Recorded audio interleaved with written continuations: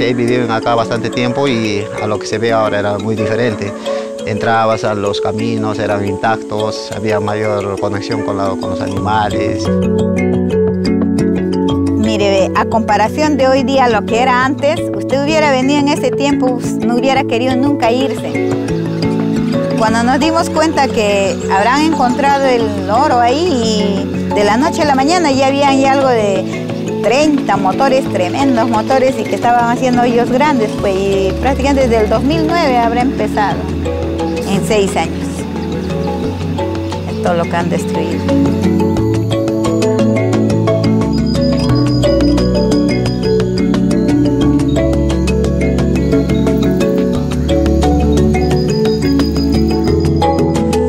cuenta de que los mineros eh, informales siempre han venido y han logrado su objetivo y se están yendo. Hemos podido hacer igual, pero sin embargo nos damos cuenta de que cada año va pasando, entonces ya vamos teniendo menos, menos. Ahí ya nosotros ya estábamos despertando, ¿no? Lo que antes era todo minería, degradar, degradar, nosotros dijimos, no, este terreno es de nosotros y tenemos que conservarlo.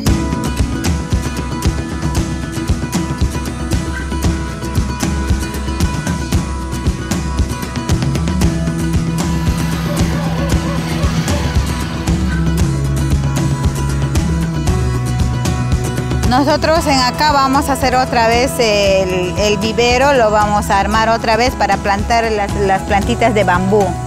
Entonces cuando ya van estas grandecitas, otra vez vamos a trasplantarle allá al área. Y nosotros lo que estamos tratando es recuperar esa área para verlo otra vez verde esta, toda esta zona porque esta área pertenece a, la asociación de Manuani.